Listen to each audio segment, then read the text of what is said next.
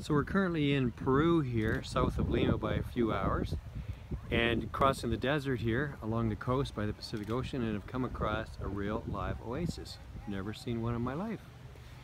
But this is what it looks like.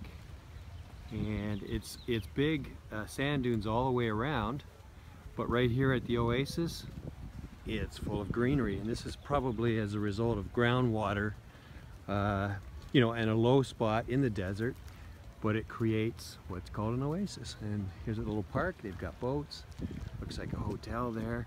And uh, you can't see it, but behind these buildings is the rest of the town. It's all centered around this oasis.